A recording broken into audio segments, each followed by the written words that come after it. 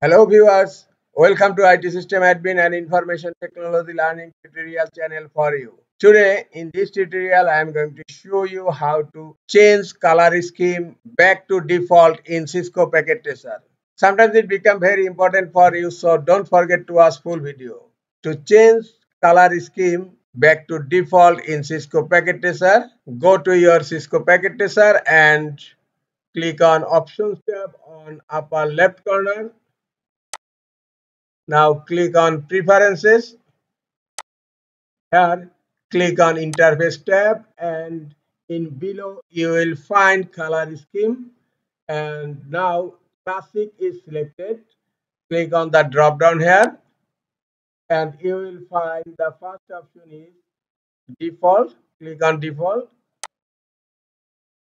and you will find a notification new color scheme will take effect the next time you start Cisco Packet Tracer.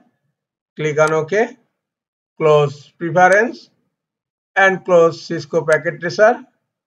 Now I am going to open again Cisco Packet Tracer. Look, the color scheme in Cisco Packet Tracer has been changed to default. This is all for today. Hope this tutorial is helpful for you. Keep watching for next tutorial. Thank you very much.